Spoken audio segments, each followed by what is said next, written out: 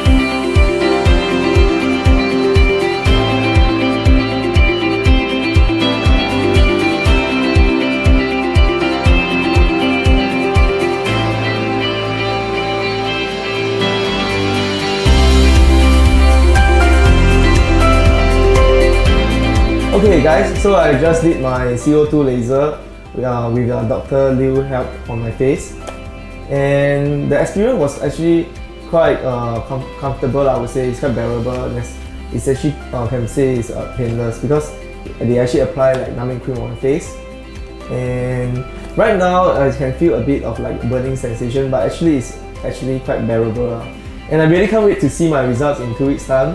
Thank you Dr. Liu, bye bye.